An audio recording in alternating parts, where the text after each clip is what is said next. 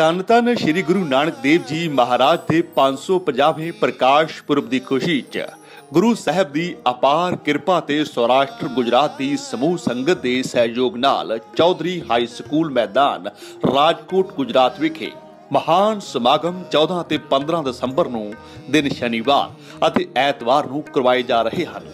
14 ਦਸੰਬਰ ਦਿਨ ਸ਼ਨੀਵਾਰ ਭਾਈ ਸਾਹਿਬ ਭਾਈ ਸਰਬਜੀਤ ਸਿੰਘ ਜੀ ਰੰਗੀਲਾ ਵੱਲੋਂ ਸ਼ਾਮ 7 ਵਜੇ ਤੋਂ ਰਾਤ 9:30 ਵਜੇ ਤੱਕ ਗੁਰਬਾਣੀ ਸ਼ਬਦ ਕੀਰਤਨ ਦੀ ਸਾਂਝ ਪਾਈ ਜਾਵੇਗੀ। 15 ਦਸੰਬਰ ਦਿਨ ਐਤਵਾਰ ਸਵੇਰੇ 11:30 ਵਜੇ ਤੋਂ ਦੁਪਹਿਰ 1:30 ਵਜੇ ਅਤੇ ਸ਼ਾਮ 6:30 ਵਜੇ ਤੋਂ ਰਾਤ 8:30 ਵਜੇ ਤੱਕ ਗੁਰਬਾਣੀ ਸ਼ਬਦ ਕੀਰਤਨ ਹੋਵੇਗਾ।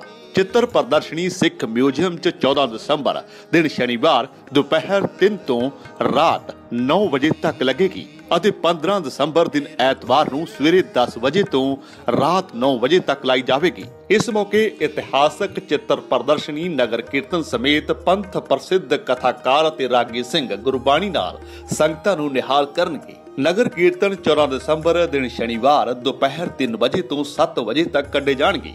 ਗੁਰੂ ਕਾ ਲੰਗਰ ਅਟੁੱਟ ਵਰਤੇਗਾ। ਸਾਰੇ ਸਮਾਗਮਾਂ ਦਾ ਸਿੱਧਾ ਪ੍ਰਸਾਰਣ ਤੁਸੀਂ YouTube ਅਤੇ Facebook ਲਾਈਵ 'ਚ ਸਿੱਖ ਨਿਊਜ਼ ਐਕਸਪ੍ਰੈਸ ਚੈਨਲ ਤੇ ਵੇਖ ਸਕਦੇ ਹੋ।